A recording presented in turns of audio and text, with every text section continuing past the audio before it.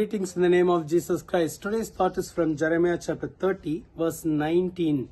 The second part of the verse 19, continuation of yesterday's thought. I will read the full verse for you. Then out of them shall proceed thanksgiving and the voice of those who make merry. I will multiply them and they shall not diminish. I will also glorify them and they shall not be small. The last part of the verse says, I will multiply them and they shall not diminish. I will also glorify them and they shall not be small. Another promise for God's children. The Lord wants to multiply His children. God can do it from nothing to extraordinary.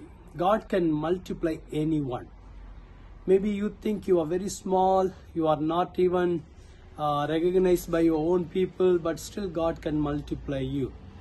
When the blessings of the Lord comes upon you, you will see the multiplication in your life. Bible says when Isaac was going through time of famine, God multiplied him because the blessings of the Lord came upon Isaac. Not only Isaac, God multiplied many people in the Bible. God multiplied Abraham, God multiplied Jacob. God can multiply you also, and you shall not diminish. The Lord will never put you into shame in front of others. The Lord will honor you because you are a child of God. The Lord will multiply you. Again, I want to say that you will multiply by the hand of God. Shall we do out of prayer?